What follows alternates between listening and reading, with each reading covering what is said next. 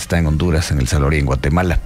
Con ella conversamos acerca de lo dicho por el panel de expertos independientes en cuanto a que Guatemala todavía tiene una posibilidad de contar con cortes independientes, pero también haciendo el análisis de que, según lo que nos ha dicho la doctora, no se, atendieron sus recomendaciones en cuanto a cómo evaluar y cómo aplicar criterio a la hora de la elección. Entonces, seguimos con esta charla y parto de lo que acaba de decir. Nos ha elogiado a la sociedad civil eh, de Guatemala en cuanto a sus análisis y también al hecho de ser una ciudadanía activa, eh, dándole seguimiento a este proceso. Sin embargo, doctora, eh, agradeciéndole que siga con nosotros, usted ha hablado de la conciencia de lo que significa el Poder Judicial y que eso no se alcanza fácilmente. ¿A qué, ¿A qué se debe eso? ¿Por qué la gente tiene poca conciencia de que es un poder del Estado y de que tiene incidencia prácticamente en la vida de todos? Yo creo que por lo que por lo que me ha tocado ver en la región, primero que nada hay una responsabilidad de los propios poderes judiciales. Los propios poderes judiciales no han estado tampoco cercanos a la gente, eh, ni en la manera como actúan, pero tampoco cómo resuelven muchas, cómo toman en cómo toman muchas de las resoluciones.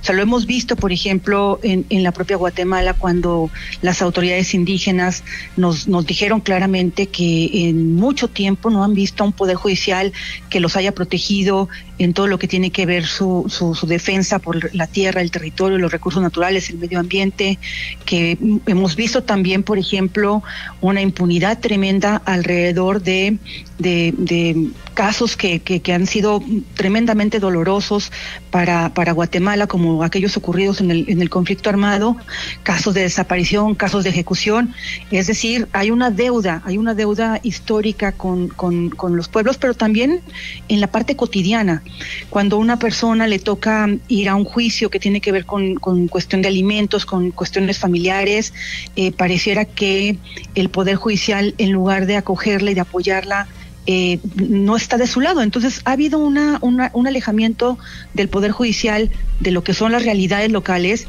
pero también lo cierto es que, eh, eh, por otra parte, nos hemos centrado mucho más en, en, América Latina y sobre todo en esta región, Centroamérica y México, en lo que es la labor del Ejecutivo. Pareciera que la vida se, se centra mucho alrededor de lo que hace o no hace el Poder Ejecutivo y es, es muy importante, obviamente. Sin embargo, eh, cuando uno tiene, por ejemplo, a un poder ejecutivo que es sólido, pero tiene cooptado el, el, la fiscalía y tiene cooptado el poder judicial, pues entonces no se puede dar el juego democrático y eso significa que los que los derechos no pueden ponerse en práctica. Eh, yo creo que una de las de las cosas que, que tenemos que aprender también eh, desde la sociedad civil, pero también desde todos los espacios, es cómo ayudamos a que haya más conciencia de que mientras no tengamos un poder judicial que realmente eh, ponga en el centro la defensa de los derechos humanos y la defensa de las personas, pues eso terminará afectándonos en nuestras vidas cotidianas. Y eso es una tarea que vamos a tener que hacer poco a poco, pero que yo sí lo digo nuevamente, veo en la sociedad guatemalteca una conciencia muy clara, tal vez todavía falta, porque esto es una cosa que es regional, pero donde por lo menos eh, hay una manifestación incluso públicamente de no permitir que les sea arrancada eh, eh, eh pues sus derechos y a, a través de eso el, la independencia judicial, ¿no? La verdad sí, uh, doctora Delgadillo, creo que después de escucharla, uh, uno piensa que a la luz de los años, uh, todo lo que usted dice se, se, ha visto muy claro y ojalá que no estemos a años luz de llegar a una independencia judicial que nos permita caminar, prosperar y ser más democráticos. Le agradezco mucho que haya tomado la llamada a la doctora Delgadillo, le deseo un bonito día, doctora, gracias por haber estado con nosotros y bueno, seguiremos conversando seguramente.